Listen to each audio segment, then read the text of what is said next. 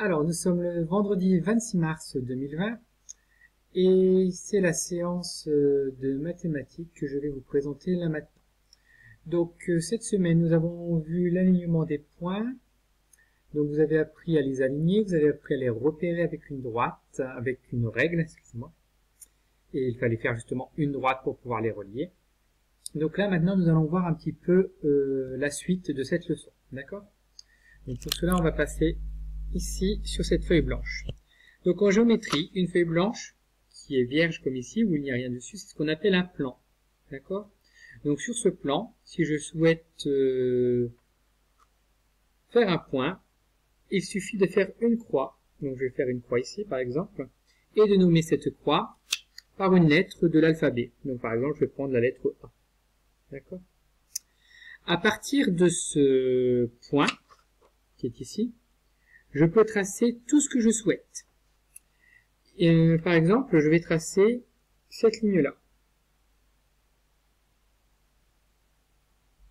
Voilà, cette ligne passe par le point A. Le nom de cette ligne s'appelle une ligne courbe.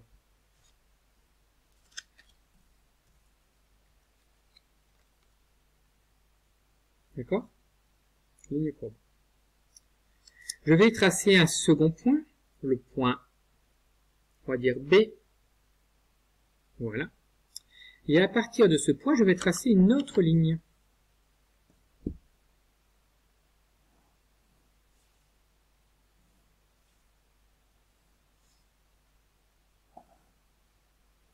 Cette ligne ici, qui passe par le point B, n'est pas courbe. On dit qu'il s'agit d'une ligne brisée. Retenez bien les noms. D'accord? Si je trace un troisième point, allez, on va tracer le point C,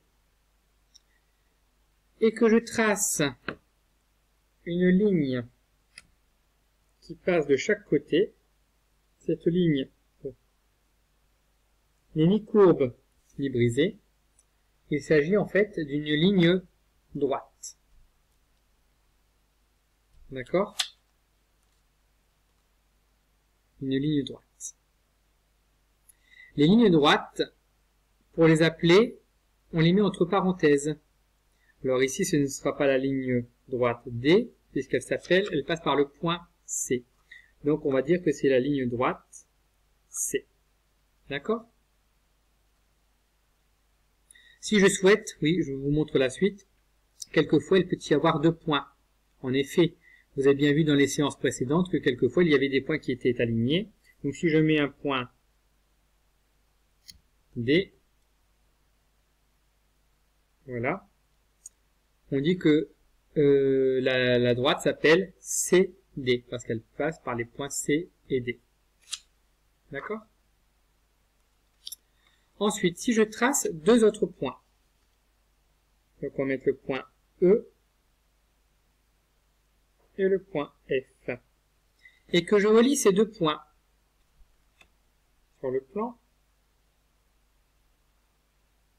et que je ne vais pas au-delà des points, c'est-à-dire que je ne vais pas avant E ni après F. C'est ce qu'on appelle un segment. Ici, j'ai tracé le segment EF. D'accord? Alors, pour écrire le nom d'un segment, on ne met pas des parenthèses, mais des crochets. Et les lettres sont en, euh, sont, euh, en majuscule. D'accord? Voilà. Enfin, il existe une dernière ligne que vous allez utiliser peu euh, en CE2, mais que je vais vous expliquer quand même. C'est euh, lorsque vous avez un point qui est ici, par exemple point, euh, on va dire G, et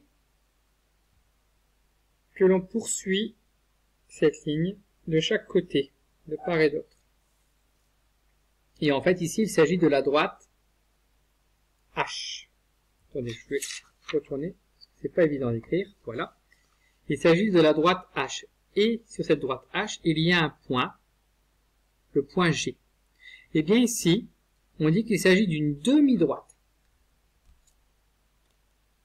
D'une demi-droite. Nous avons une partie, nous avons le point, et ça va jusqu'au point et c'est sur la droite H.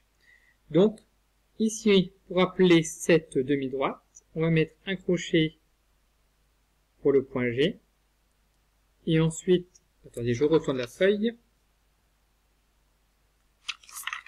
on écrit une minuscule pour le point H, et on met une parenthèse. Donc ici, il s'agit de la demi-droite, G, H.